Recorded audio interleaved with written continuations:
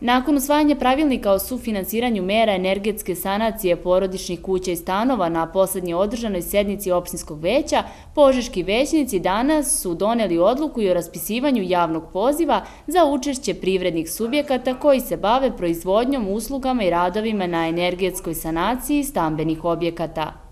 Nakon odabira privrednih subjekata koji će biti uključeni u projekat i koji će zapravo sprovoditi sve potrebne radove, očekuje se i raspisivanje javnog poziva za zainteresovane građane. Inače, iz budžeta opštine Požega za finansiranje projekata poboljšanja energetske efikasnosti izdvojeno je 5 miliona dinara, koliki je iznos sredstava koji će biti finansiran od strane Republike.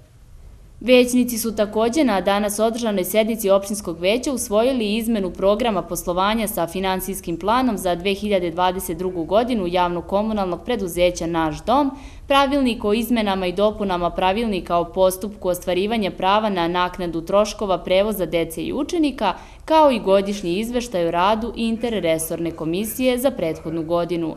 Na dnevnom redu našlo se i nekoliko pojedinačnih zahteva građana, ali i organizacija koje deluju na teritoriji naše opštine.